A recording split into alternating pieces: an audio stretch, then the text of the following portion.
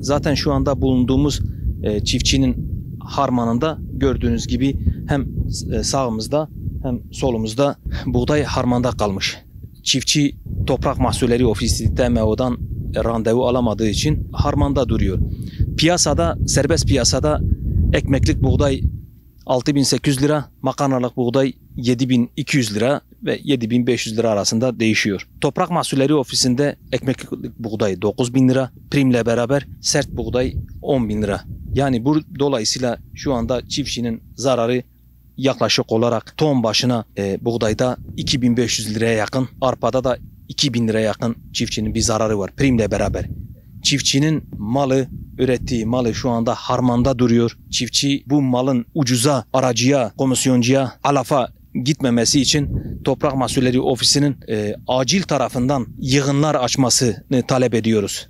Hava müsait, boş araziler var, yığınlar açsınlar. Teme o yığın açsın. Yığınlar açılmasa çiftçi mağdur olacak. Çiftçinin emeği e, rantçıların cebine gidecek. Ekonomik sıkıntılardan kaynaklı, sürekli enflasyon yükselmesinden kaynaklı, e, girdi maliyetlerinin de çok fahiş bir şekilde %200, %300'e çıkan işte e, ilaç veya işte gübre girdi maliyetleri söz konusu mazotu dahil bunun içerisinde. Bunları daha önceden yaşamış bir çiftçi e, yeniden tarlasına gidebilmek için bir önceki yılın işte borcunu kapatmak zorunda. İki, yeniden bir döneme bir maliyet oluşturmak zorunda. Tohumundan, ilacından, insektisitinden, gübresine veya herbisitine kadar bunların tümünü bir girdi maliyeti olarak yeniden oluşturmak zorunda. Dolayısıyla çiftçi şu an işte e, elektrik e, ücretleriyle cebelleşiyor. Su ücretiyle cebelleşiyor. E, enerji girdisiyle mazotundan tut vesairesine kadar cebelleşiyor. Ee, yine e, gübresinden, ilacından, tohumundan bunların tümü yüzde sekseni de ithal edin mallardır.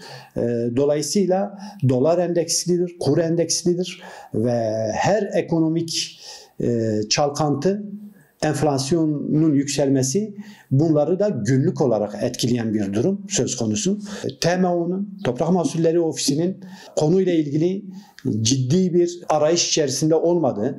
Günlük politikalarla bu işi geçiştirmeye çalıştı ve sadece sezon esnasında işte bir otomasyonumuz var ve o otomasyondan randevu alabilecek kişiler üzerinden değerlendiriyoruz şekilde bir sonuca ulaşılıyor. Bu da e, çiftçiyi ciddi zarara sokuyor. Yani bu işle ilgili ciddi bir altyapının derhal oluşturulması gerekiyor.